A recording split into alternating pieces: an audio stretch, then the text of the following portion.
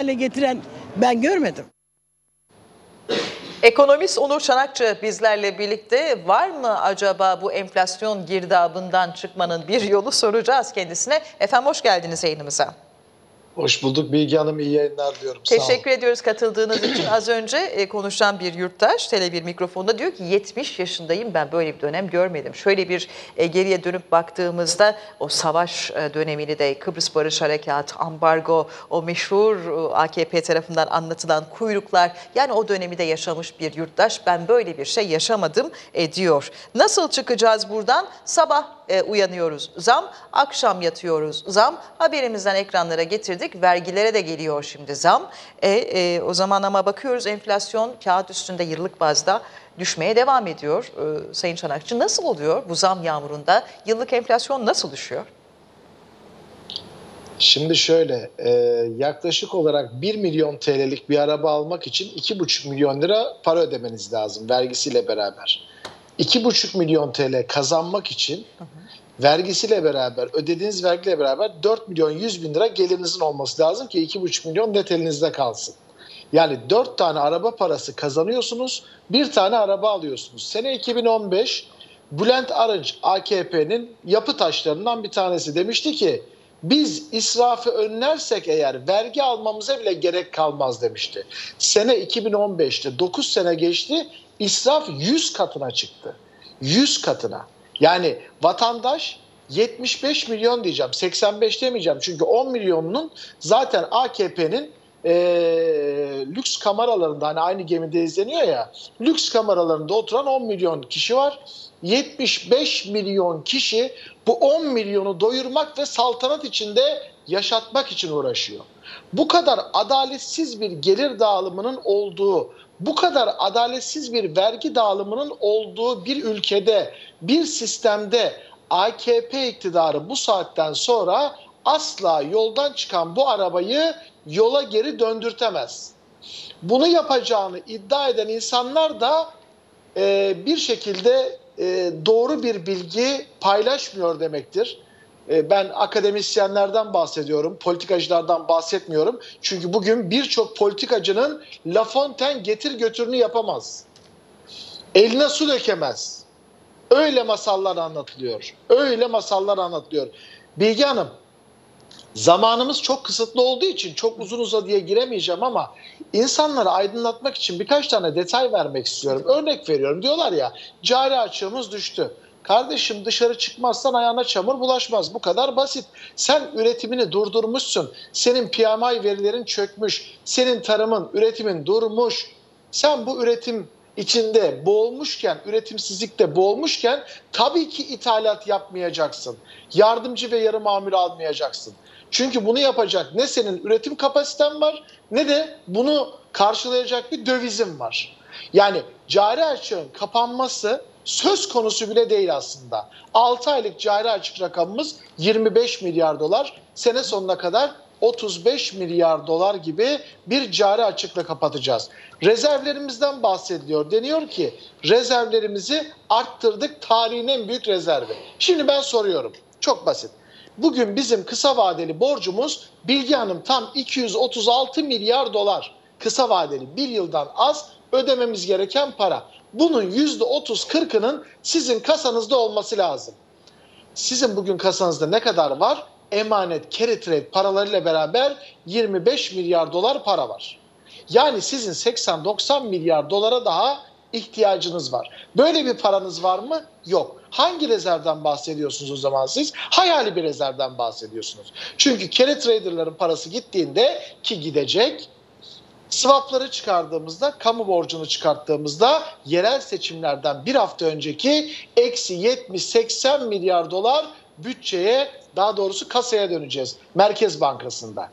Ondan dolayı da AKP'nin anlattığı şeyler kulağa çok hoş geliyor ama ben Türkiye'den bahsettiklerini düşünmüyorum. Çünkü Avrupa'nın e, ikinci dünyanın en büyük gıda enflasyonlarının başını çekiyoruz. Enerji enflasyonlarının başını çekiyoruz.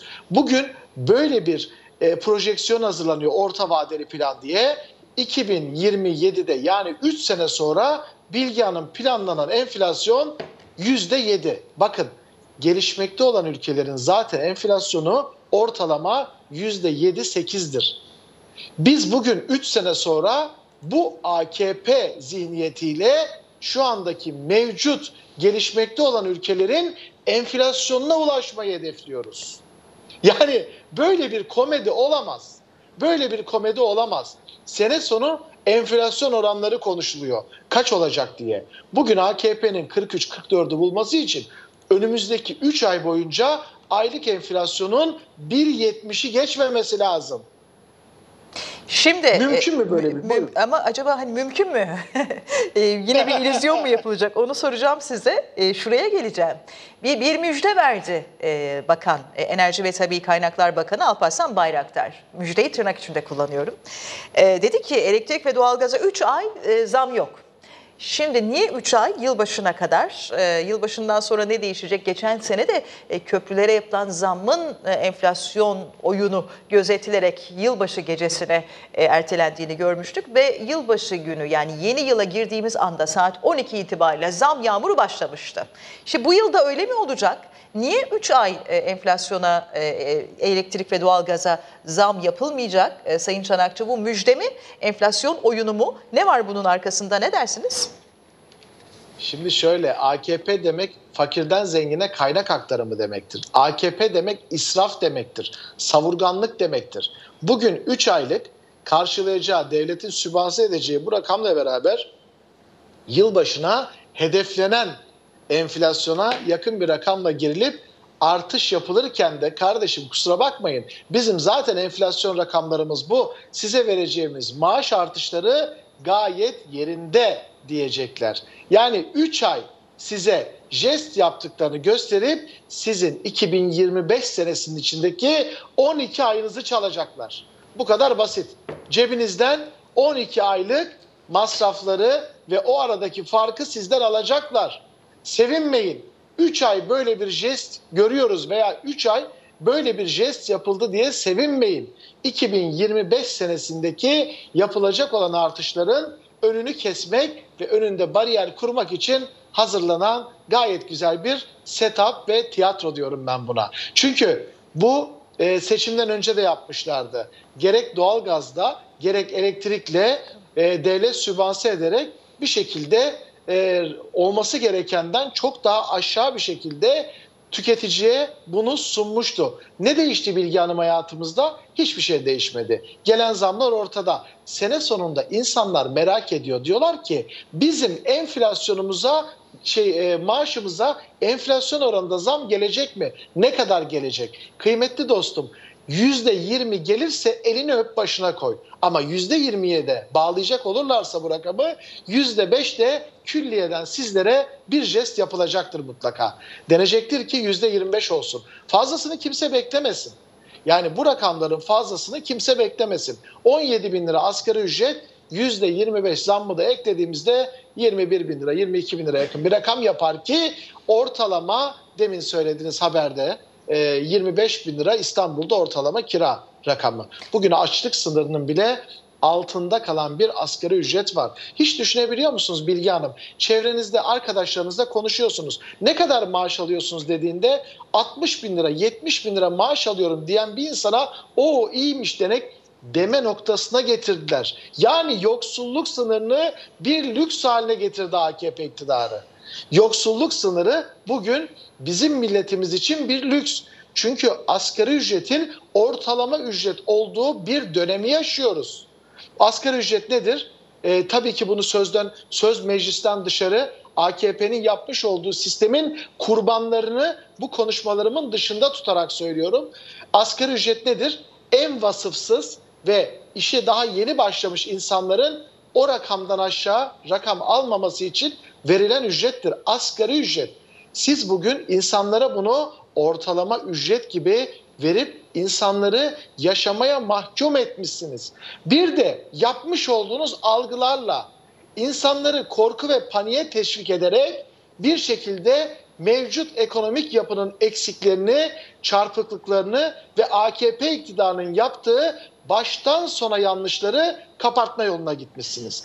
Bu şekilde bu ekonomi düzelir mi? hiç sanmıyorum. Yani şimdi şunu mu düşünecek yurttaş, daha doğrusu AKP bunu mu hesaplıyor? Ee, İsrail'in bir sonraki hedefi Türkiye olacak. Ee, bu sözü duyan yurttaş, evet yani ekonomide sıkıntı yaşıyoruz ama bö- böyle bir şey yaşamayalım. Yaşadığımız sıkıntıların sebebi belli. Ee, şükredelim, tevekkül edelim bunu mu e, demelerini bekliyor acaba iktidar? Şimdi bir kere şöyle bir şey söyleyeyim. İsrail'i dünyada en hızlı tanıyan ülkeyiz. AKP zamanında İsrail'le ilişkilerimiz e, tarihimize baktığımızda böyle bir gelişim ve yukarı doğru ivme kazanan bir ticaret anlayışımız yok. Bu bir. İkincisi biz bir NATO ülkesiyiz. Üçüncüsü bütün istihbaratını bizden alıyor. Kürecik üstü şu anda bizde her şeyden önce. Artı bir de NATO ülkesi olmamasıyla beraber NATO ülkesinin ülkelerinin mekanizmasından bir şekilde Türkiye üzerinden faydalanan bir yapı neden size saldırsın? Neden? Yani böyle bir şey yok. Onun için ben bunu kale bile ciddiye bile almıyorum. Ama bu piyasalar fikri. ciddiye aldı. Bor- Borsada çok büyük, yine küçük yatırımcı e, soyuldu Sayın Çanakçı. E, piyasaların işte onu anlatıyorum zaten. Bugün fakirden zengine kaynak aktarımı dediğim aslında buydu. Piyasaların ciddiye alması. Şu anda mevcut durumumuzu bir özetlemek gerekirse İran'ın bomba yağdırdığı İsrail'in borsası 1.3 düşerken bizimki aynı gün 4.3 düşüyor. Bu aslında şimdi diyorlar ki insanlar ya yabancı yatırımcı gelmeyecek mi bu açıklamalardan sonra? Bilge Hanım kapımızı bacamızı kıran zaten bir yabancı yoktu yatırım için gelen. Yani kimse buna bağlamasın. AKP başarısız bir yönetim. AKP yapmış olduğu hatalarla Türkiye'yi gerçekten ciddi anlamda bir karanlığa götüren bir yönetim şekli. Kimse zaten bir yatırımcı beklemiyordu. Yani bu e, yapılan Sayın Cumhurbaşkanı'nın yaptığı açıklamalar ve dillendirilen bu e, şeylerden sonra, safsatalardan sonra bir şekilde insanlar diyorlar ki ya yabancı yatırımcı artık gelmeyecek mi? Var mı kardeşim yabancı yatırımcı? Şu anda piyasalarındaki gelen para rezerv carry trader'ların, faizcilerin, tefecilerin parası. O da bu kadar yüksek faize rağmen geçen hafta tahvil ve borsalardan çok ciddi sayıda bir çıkış oldu. Yani sizin Türkiye'ye yatırım getirmeniz için öncelikle insanları istikrara, öncelikle insanları adalete, öncelikle insanları şeffaf bir piyasa yönetimine e, yapıldığına ikna etmeniz lazım. Böyle bir şeyiniz var mı? Mümkün değil. Çünkü Mehmet Şimşek geldiği zaman ilk önce eleştirdiği kalemlerden bir tanesi TÜİK'ti. TÜİK önce doğru verileri hesap etsin ve açıklasın demişti. Ve bir kere sadece bir kere TÜİK gerçek verileri hesap etti. Onda da devletin kat sayısal olarak alacağına tekabül eden bir ayı kapsayan açıklama yapıldı ve devlet o dönemki alacaklarını o yapılan yüksek enflasyon üzerinden aldı. Ondan sonra TÜİK herhangi bir şekilde yapmış olduğu açıklamalarla milletin herhangi bir şekilde yüzünü güldürmediği gibi cebinden her ay ciddi bir para almayı sürdürdü. Ve bunun karşılığında da dedi ki bizim sepetimiz yok, bizim ağırlıklarımız yok. Ondan sonra Alaaddin Aktaş bir, çok güzel bir çalışma yaptı. Ee, dedi ki rakamlar bu. Onun üzerine dediler ki sepetten cımbızlayarak almışsınız. Kardeşim hani senin sepetin yoktu? Bir anda o sepet ortaya mı çıktı? Ne getirdi? Kırmızı başlıklı kız mı getirdi o sepeti bize? Her halleri, her yaptıkları. Bakın bir açılış yapılıyor. Bir e, hamburger e, Evet. zincir mağazasının açılışında adam diyor ki biz hamburgeri yemedik. Yemedik diyor. Aynı adamın şirketi Yeseydik bir günaha İsrail'in girerdik diyor. Evet. Bir İsrail firmasının mümessili, mümessili aynı adamın şirketi bir İsrail firmasının, dağıtım firmasının mümessili. Sucuk yaparlar yemezler, açılışa giderler yemezler. Yani diyorum ya size insan bunlar sadece başarısızlık değil. İnsanları aptal yerine koydukları için bence bu kadar tepki çekiyorlar. Bu sadece başarısızlıktan ibaret bir şey değil. Başarısız bir insan başarısızdır. Kızmazsınız. En fazla dersiniz ki seninle yola devam etmeyeceğim. Ama hem başarısızlar hem de insanların akıllarıyla oynuyorlar. Bu çok daha büyük bir günah. Çok daha büyük bir eziyet. Bugün pazarda hava karardıktan sonra yerden çarık çürük sebzeleri toplayıp evine götüren insanların dramını görmeyen insanlar kalkmış ekonominin iyi olduğunu anlatmaya çalışıyor. Yazıktır, günahtır. Bu insanlara yaptığınız eziyettir. Bugün öğlen çıkan tabildotta çıkan portakalı sarıp akşam çocuklarına götüren bir babanın psikolojisini bilmeyen insanlar bu ülkede asgari ücreti belirleyemezler. Bu kadar basit. Evet. Şimdi e, aslında tabii her şeyi o kadar çabuk unutuyoruz ki bu ülkede o kadar çok şey oluyor ki e, bu e, bahsettiğiniz e, şeyleri de bir unutuyoruz ister istemez ama ne güzel hatırlattınız. TÜİK geçtiğimiz yıl içerisinde ki Mehmet Şimşek göreve geldikten sonra şeffaflık vurgusu yapmıştı e, göreve başladıktan sonra. E, bir kez enflasyonu ENAK'la eşdeğer açıkladı. Hatta şaşırdık biz bu nasıl oldu? E, ENAK'a geçti e, aylık bazda. Bir kez e, enflasyon e, doğru açıklandı. O da özel bir zaman ayarıyla birlikte ona göre devletin alacaklarının hesaplandığı döneme denk getirilmişti. Ne hikmetse devlet alacaklarını o oranlar üzerinden almıştı. Ne güzel oldu hatırlattınız. Şimdi e, Sayın Çanakçı şunu soracağım. E, dediniz ya biraz önce yabancı yatırımcı gelmiyor. Carry trade için gelen, vurgun için gelen e, paradan bahsediyoruz. Onlarla övünüyoruz şimdi Merkez Bankası'nın rezervlerini doldurduk diye. E, bu noktada arkadaşlarımdan rica edeyim. Dünya Gazetesi yazarı Özcan Kadıoğlu'nun dün bir paylaşımı vardı. Bir, hesap yapıyor ve onu da sosyal medya üzerinden paylaştı. Onu getirelim ekranlara. Sonra buradan o, o carry trade vurgununa ilişkin de e, sormak istediğim bir soru var. İşte böyle bir hesap. Şimdi şöyle söylüyor e, Hakan Karahan, Merkez Bankası Başkanı Hakan Karahan'ın e, carry trade ile ilgili sözlerini alıntıladıktan sonra Fatih. diyor Karar. ki Başkanım e, bahsettiği yabancı 5 Nisan'da ülkemize 100 bin dolarla parasını carry trade yaptı ve her ay Türk lirası mevduata yatırdı. 6 ayın sonunda bugün çıkmak istedi.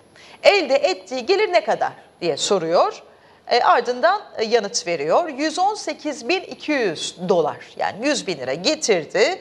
6 ayın sonunda o para 118.200 dolar oldu. Yani dolar bazında ödenen faiz, net faiz %18.2. 6 ayda dolar bazında. E, buna hiçbir ülke dayanamaz diyor ve bu, bu hesabı da paylaşıyor gördüğünüz gibi. Sayın Çanakçı buna hangi ülke dayanabilir? Biz daha ne kadar dayanacağız? Bu carry trade vurgunu yapan kişinin cebine koyup gittiği ya da yarın öbür gün gideceği e, para kimin parası? Bizim paramız değil mi? Ne kadar ödeyeceğiz parası. daha? Yani şöyle e, AKP şapkadan tavşan çıkarmak için tarihin en büyük zaman pahalı zamanını satın alıyor. Bunu ilk kur korumalı mevduatta gerçekleştirdiler. Kur korumalı mevduatta yapmış olduğu çalışmalarla 1,5 trilyon civarında insanları bir e, bedel ödemeye mahkum ettiler. Yani lüks restoranlarda yemek yiyen insanların faturasını dışarıdaki garibana ödettiler. Simit yiyen insanları ödettiler. Ve bunun yanında Mehmet Şimşek geldiğinde bir hamle yaptı. Dedi ki kur korumalı mevduatın farkını bundan böyle Merkez Bankası ödeyecek dedi. Merkez Bankası tarihin en büyük zararına imza atarak 818 milyar lira zarar etti ve kur korumalı mevduatın farkını ödedi. Şimdi bunu baktığımızda e, nasıl karşılanıyor, nasıl mahsup ediliyor diye hazine bilanço oranında her sene Merkez Bankası'na belli bir bütçe aktarır. Bu da yaklaşık olarak mevcuda baktığımızda 50-60 milyar TL civarındadır. Yani yapılan Nebati zamanında yapılan kur korumalı mevduatın Merkez Bankası'nın üzerine yıktığı yükü e, hazine ile Merkez Bankası kendi arasında tam 17 senede mahsup edecek Bilge Hanım. Tam 17 sene. Şimdi onun için de kalkıyorlar diyorlar ki biz e, rezervlerimizi doldurduk. Kardeşim senin 10 liradan sattığın doları 34 liradan yerine koyman nasıl bir rezerv doldurma şeklidir? Nasıl bir zarar şeklidir? Bu zaman zararı kimler karşılayacak? Bu zararı Türk milleti karşılayacak. Etiyle, kemiğiyle, vergisiyle, emeğiyle karşılayacak. Yemeyecek, yedirecek, içmeyecek, içirecek derler ya. İşte Türk milleti yıllar yılı bunu yapacak. Bakın Bugün kamu özel işbirliği projeleri var. Kamu özel işbirliği projeleri. Köprüsü, hastanesi, otobanı, e, tüneli bunların hepsini kapsayan e, kamu özel işbirliği projelerinde bugün yapılan sözleşmeler Türkiye Cumhuriyeti e, Ticaret Kanunu'na göre kurulan Türk şirketiyle Türkiye Cumhuriyeti arasında yapılan sözleşmede Amerikan enflasyonu baz alınıp her sene sözleşmeye Amerikan enflasyonu oranında eskalasyon uygulanıyor. Artı bu da yetmiyor. Anlaşmazlık halinde Londra tahkim mahkemeleri yetkili kılınıyor. bir ülkede eğer tasarrufa gitmek istiyorsanız öncelikle kamudan başlamanız lazım.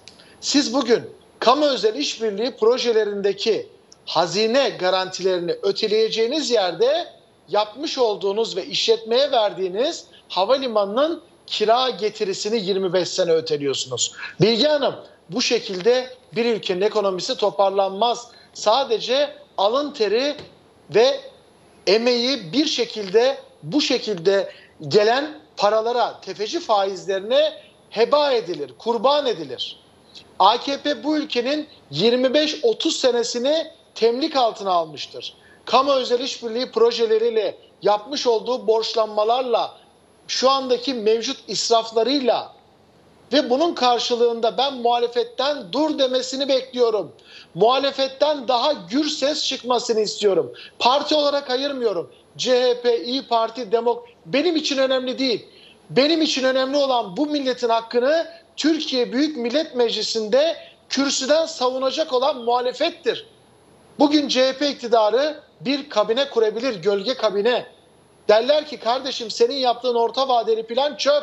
Evet çöp ama bak doğrusu bu. Tarıma bunu yapman lazım. Teknoloji ağırlıklı bir sanayi oluşturman lazım. Teşviklerini buraya kaydırman lazım gibi öyle bir plan yaparsınız ki insanlar derler ki evet gerçekten yapılması gereken buymuş. Gölge kabinesi Saf var Cumhuriyet Halk Partisi'nin Sayın Çanakçı. Ama, Ama böyle bir plan işlemiyor. yapılmadı tabii. Evet ama işlemiyor. Sadece gölge. Gerçekten gölge. Hani biraz daha işlevsel olmasını temenni ediyorum Türkiye Cumhuriyeti vatandaşı olarak. Muhalefetten bugün biz buradan sizlerin vasıtasıyla sizler her gün çok önemli bir kamu görevi yaparak insanlara gerçekleri aktarmayı e, hedefliyorsunuz ve yapıyorsunuz. Bizler buradan sizlerin vasıtası ama bugün muhalefetin Türkiye'ye seslenme şansı var. Yanlışları gösterme şansı var. Nasıl 128 milyar nerede sloganını orada yapılan büyük bir e, usulsüzlüğü ortaya attıysa bunun gibi e, ortaya atacakları manşetlerle AKP'nin yaptığı ekonomik zulmü ortaya çıkarmak zorundalar. Bizlerin verdiği oylar onların boynuna bunu yapmak zorunu getiren bir e, görev haline getirmiş durumda. Ama gerçekten bu yapılıyor mu? Dediğimiz gibi sadece gölge şeklinde yapılıyor. Bizim artık muhalefetin biraz daha aktif siyasetine, aktif eleştirilerine ihtiyacımız var. Son olarak şunu soralım. Ay, Yine arkadaşlarımdan rica edeceğim. Dedik ya her ürüne zam geliyor. Yurttaş ne yapacağını bilemiyor. Bir yurttaş az önce söylemişti işte sabah gidiyoruz zamlı, akşam gidiyoruz zamlı. Yani bir ürünün fiyatı değişiyor ama TÜİK rakamlarına yansımıyor bu. Şimdi e, İstanbul Ticaret Odası Başkanı Şekip Ag- e, Abdagiç'in e, açıklaması çok konuşuldu, tartışıldı. O gelecek ekranlara, getirelim hatta. Mütte- fahiş fiyatla mücadelede sorumluluğu tüketiciye e, yükleyerek e, pahalı şirketlere boykot önerisinde bulundu. Getirdik bakın ekranlara. E, Abdagiç enflasyonun bu sene hedefe yakın bir noktada gerçekleşmesinin önemli olduğunu vurguluyor ve her kesimin üzerine düşen görevleri olduğunu söylüyor. E, fiyatı belirleyen en önemli unsurlardan biri de tüketicidir diyor. Klasik bir örnek veriyor. Bir restoran yemeği 100 liraya satıyor. Ertesi gün geliyorsunuz 120 lira oluyor yine satıyor. 150 lira oluyor yine satıyorsa e, işte fiyat orada oluşur. Dolayısıyla e, tüketicinin tüketimden gelen gücünü de yeteri kadar kullanmadığı kanaatindeyim diyor. Şimdi e, tüketicinin e, tüketimden gelen gücünü yeterli kadar kullanmadığı kanaatindeyim cümlesine e, elbette katılabiliriz ama e, fahiş fiyatla e, mücadele tabii yurttaşın görevi mi? E, Sayın Çanakçı son e, 2-3 dakika içerisinde de ne dersiniz yurttaşa başka e, ne gibi görevler yüklenecek acaba? Şöyle söyleyeyim. Türkiye'de AKP iki tane kuyruk oluşturdu. Bir tanesi 120 bin liraya e, en son sürümü çıkan bir telefon Evet. markası gece yarısı girilen kuyruk. Bir de e, 70-80 yaşında iki tane em- iki kişinin emekli karı kocanın kent lokantasında 40 liraya boğazlarından sıcak bir lokma geçsin diye girmiş olduğu kuyruk. İşte AKP'nin ülkeyi ayrıştırma şekli tam da bu. Vatandaş üstüne düşen görevi layıkıyla yapıyor. Resmen herkes şu anda bir Survivor edasıyla adaya veda etmemek için uğraşıyor ve umuyorum ki umuyorum ki siyasiler bunlardan biraz ders çıkartıp insanların aklıyla alay etmekten vazgeçerler. Çünkü Ankara küçülmeden Türkiye'nin büyümeyeceğini daha önce gördük. Gene aynısını yineliyoruz. Türkiye'nin büyümesini istiyorsak önce Ankara'daki bürokratların ve sistemin küçülmesi lazım. Çok teşekkür ediyoruz Sayın Çanakçı vakit ayırdığınız için sağ olunuz. Ben teşekkür ediyorum. İyi yayınlar. Sağ olun. Teşekkür ediyoruz. Evet değerli izleyiciler bir yandan da işte bu tablo içinde böyle aklımızla alay eder gibi açıklamalar yapılıyor. Bir de bunları konuşuyoruz. Ekonomist Onur Çanakçı bizlerle birlikteydi. Şimdi kısa bir araya gidiyoruz. Az sonra döneceğiz.